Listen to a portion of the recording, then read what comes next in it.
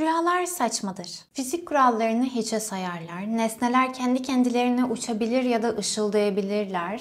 Çok eskiden tanıdığımız ya da sokakta sadece iki saniyeliğine gördüğümüz bir insan rüyamızda çok önemli bir rol oynayabilir ve hatta ölmüş bir insan bile rüyamıza girebilir. Rüya görmek evrenseldir.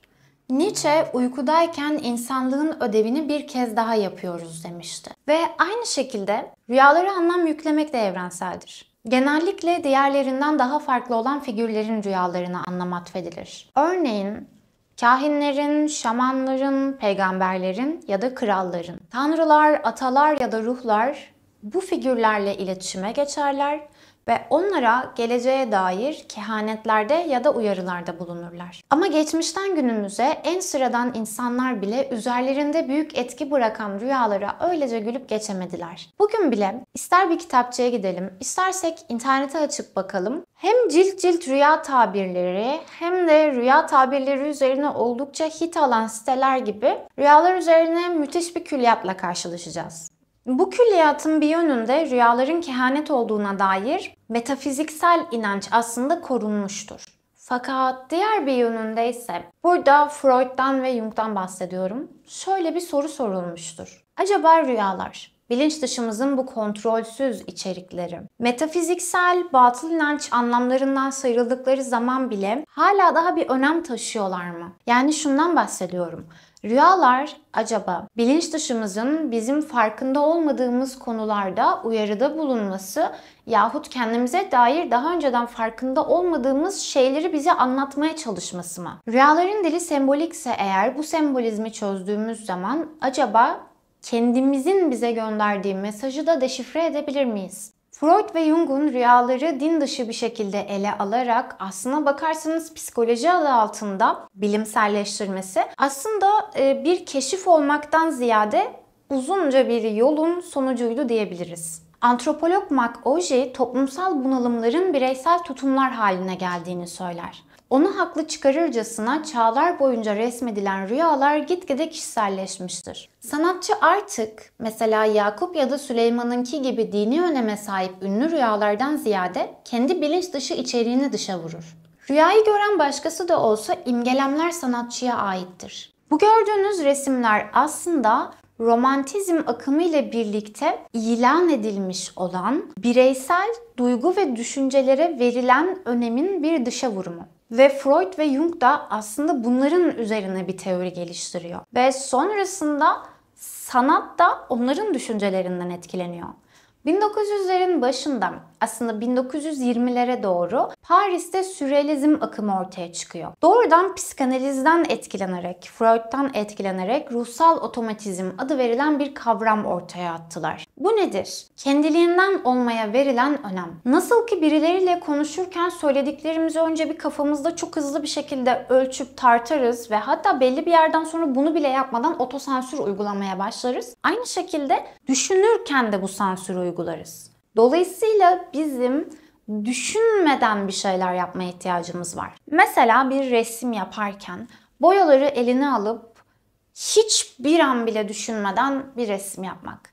Ya da benim de yaptığım şekilde eline kalemi alıp bir an bile düşünmeden, elini hiç kaldırmadan bir yazı yazmak. Ve en önemlisi de rüyalar. Rüyalar tamamen bilinç dışından gelir değil mi? Öyleyse rüyalarını kaydet ve sanatında kullan. Bu tabii ki bambaşka ve ilginç bir hikaye ki buraya kadar olan kısmı aslında minik bir girizgah olsun diye anlattım. Fakat benim asıl anlatmak istediğim şey Sürrealistlerin en parlak dönemlerini geride bıraktıkları zamanlarda onlardan çok uzakta bir yerlerde yaşayan, kimsenin tanımadığı ve bugün de pek tanındığı söylenemeyen sıradan bir ressamla ilgili. Aslında sıradan demek ne kadar doğru olur bilmiyorum. Bu noktada Jung psikolojisiyle ilgili yaptığım videoyu izleyebilirsiniz. Yahut önce bu videoyu izleyip ondan sonra onu izleyebilirsiniz. Çünkü bence izleme sırası pek de fark etmeyecek bir şekilde birbirlerini bütünleyecekler. Sanırım tarihi en çok tanınmayan insanların küçük gözüken ama aslında büyük hikayelerini keşfetmemi sağladığı zaman seviyorum. Bahsettiğimiz bu dünya çapında ünlü olmayan ressamımız da 7 Temmuz 1911 yılında İsviçre'nin Basel kentinde dünyaya geldi. Annesini çok küçük yaşlardayken kaybetmişti ve bu onda hiç kapanmayacak bir yara olacaktı. Sanatçı olmaya ise daha çok küçükken gördüğü şövalye resimlerinden, ortaçağ sanatından çok etkilenerek karar vermişti.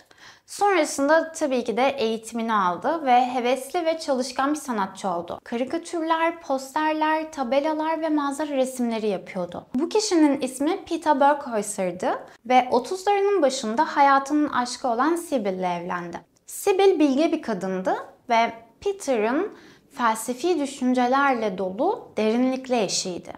Bu bakımdan bir sanatçı ve de bir nevi düşünür diyebileceğimiz bu ikili bence birbirini muhteşem bir şekilde tamamlıyordu. Hayat yolunda gidiyor gibi gözükürken her şey bir güveyle başladı. Bir gece Peter stüdyosunda çalışırken bir güve pencerenin pervazına kondu ve Peter'a baktı. Peter bu güveden çok etkilendi ve onun adeta bir canavar gibi devasa olduğu bir resmini yaptı. Fakat sonra bu güve hakkında düşündükleri onu derin bir bunalıma soktu. Nasıl ki güve camın dışından içeriye bakabiliyor, ışığı görebiliyor ama ışığa ulaşamıyordu. Peter'ın ruhu da tıpkı bu güve gibi ışığa ulaşamıyordu. Böylece uzun bir depresyon dönemi başladı. Artık hiçbir resmini tamamlayamıyordu.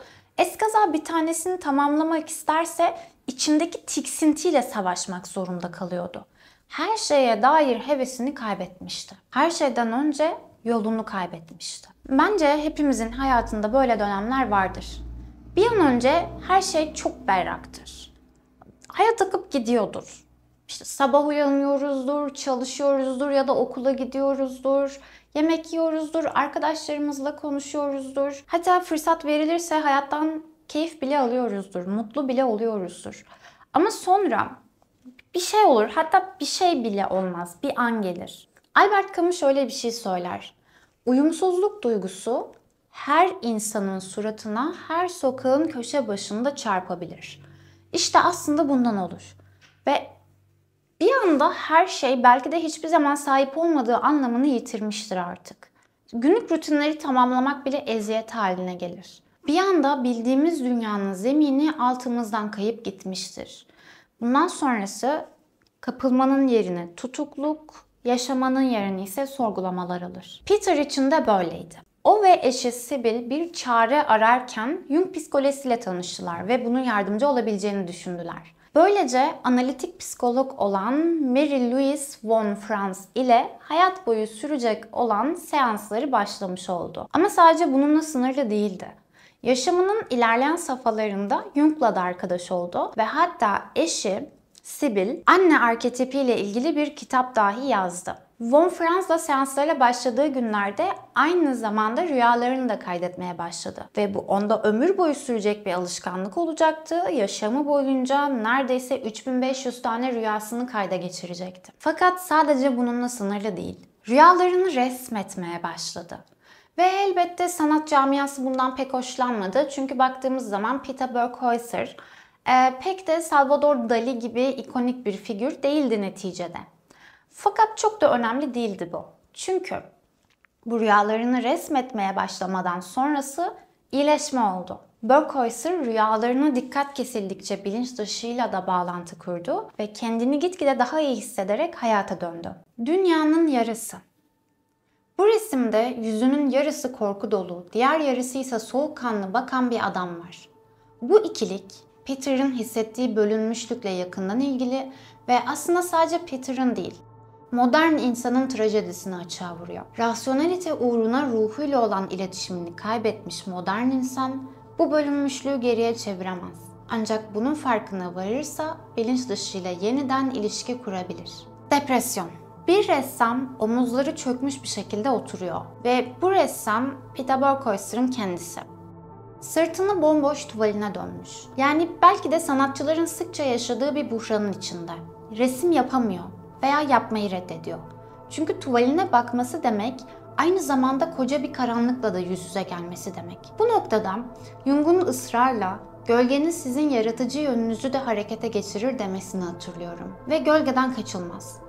Burada da çoktan her tarafını sarmış ve enerjisini emiyor. Onu bastırmaya, hapsetmeye çalışmaksa çok çok büyük bir patlamaya yol açabilir. Peter'ın bir diğer resmi, hapsedilmiş güç, tam olarak bununla ilgili.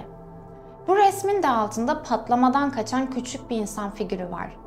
Öyleyse bu sanatçı tüm bu felaketlerden kurtulmak için karanlık tarafına doğru dönmeli ve tam olarak onu resmetmeli.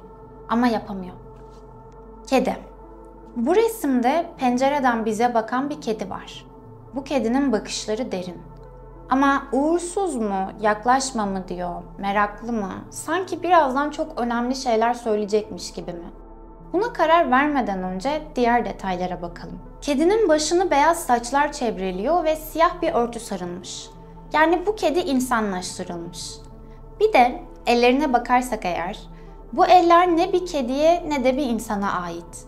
Canavar pençesi gibiler. Aynı anda hem hayvan hem insan hem de canavar olan bir şey varsa bu bilinç dışının ta kendisidir. Orada her şey bütün haldedir. Dışarıya çıktığındaysa parçalanır ve bölünür. Antik Mısır'da kedi tanrıça Bastet firavunların koruyucusuydu.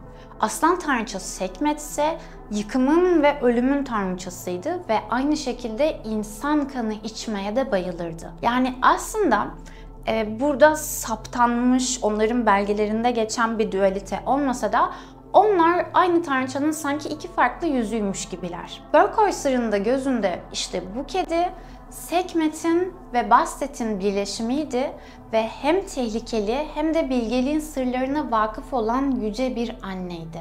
Tüm bunları ve dünyanın yarısı tablosunu düşündüğüm zaman sanki o pençeler birazdan çok sakin bir şekilde yukarı kalkıp beni takip et diyecekmiş gibi geliyor. Korkabilir ve bu çağrıyı reddedebilirim. Ama aslında içten içe arkasında çok büyük şeyler gizlediğini düşündüğüm için sanırım takip etmeyi seçerdim. Ve nihayet ateş doğum yapıyor. Peter Burkhäuser'ın hayatında karanlığın doğuma, güzel renklere, kozmik ışıklara dönüştüğü bir evre gelir.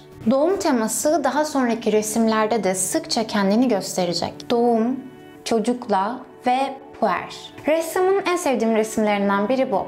Puer aslında Per Eternus, Jung'un ebedi çocuk arketipidir. Tıpkı Dionysos ya da Peter Pan gibi. Ebedi çocuk yeniliğin, yaratıcılığın sembolüdür. Bütün o sancıların sonucunda doğacak olan odur. Sonra en baştaki resimde gördüğümüz o yüzü bölünmüş adamı dışlanmış tablosunda yeniden görürüz. Taşıdığı gökkuşağı alevleri endüstriyel toplumun griliğini, monotonluğunu tehdit etmektedir. İşte bu yüzden sürgün edilmiştir. Ve artık ressam sorunun ne olduğunu biliyor. Hepimiz karanlıkta korkak bir şekilde oturuyoruz. Kapımızı çalan ateşi tehdit olarak görüyoruz. Ama aslında dünyamızı aydınlatacak olan odur. Arketipler videosunda animadan bahsetmiştim. Anima, erkeğin içerisindeki dişil yöndür. Bunun tam tersi yani animussa kadının içindeki eril yön oluyor. Animanın pek çok formu vardır.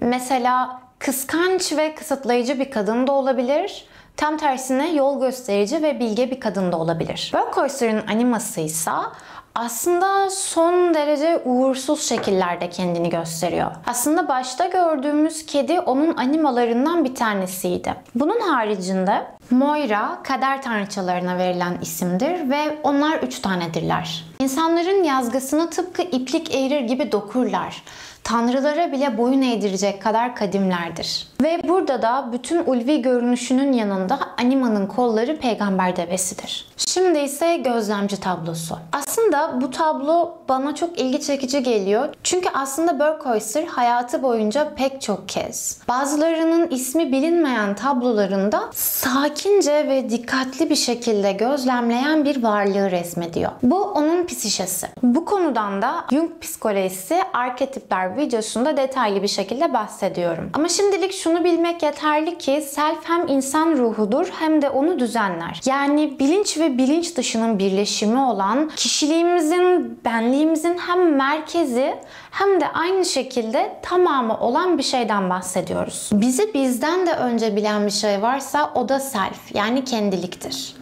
Kendilik bizi de çevremizi de hayatımız boyunca gözlemler ve bilincimizin fark edemedikleri konusunda bize yol gösterir. 24 Mart 1971'de Peter'ın karısı çok ani ve beklenmedik bir şekilde vefat etti. Bu resim de karısının ölüm tarihiyle aynı ismi taşıyor. Bu zamana kadar yaratıcılığı simgeleyen ateş bu defa yok edicidir. Bu resim onun bugüne kadarki hayatının yanıp kül olmasını gösterir. Yine de bu trajediden sonra bile anlam arayışı hala daha devam etti. Tüm bu resimlerde karşılaşmalar, yüzleşmeler ve mücadeleler var. Aslında her birinin içini kendi hislerimle doldurabiliyorum. Ve son tablosu. 1976 yılında hastaneye kaldırılmıştır ve kısa bir süre sonra vefat eder. Bu tablo artık yaşlı ve kırılgan bedeninin bir vaşak tarafından tutsak edilmesini gösteriyor. Vaşak bir kedidir ve sanatçının hayatı boyunca kişisel totemi gibi olmuştur.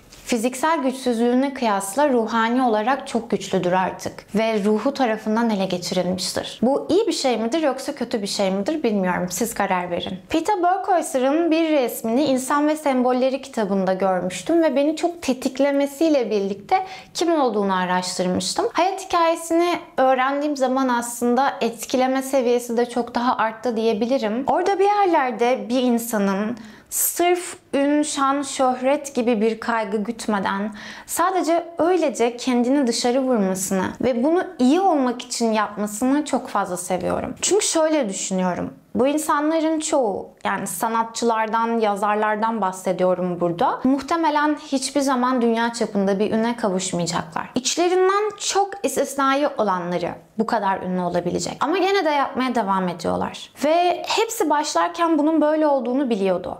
Yani hiçbiri zaten sonunda büyük bir başarı yok diye cesaret etmeseydi o zaman biz böyle hikayeleri bilemezdik. Ve böyle hikayeleri bilmeseydik kendi hikayemizi anlatmaya çekinirdik. Mesela ben okuma yazmayı öğrendiğim zamandan itibaren duygularımı, düşüncelerimi hep bir yere kaydettim.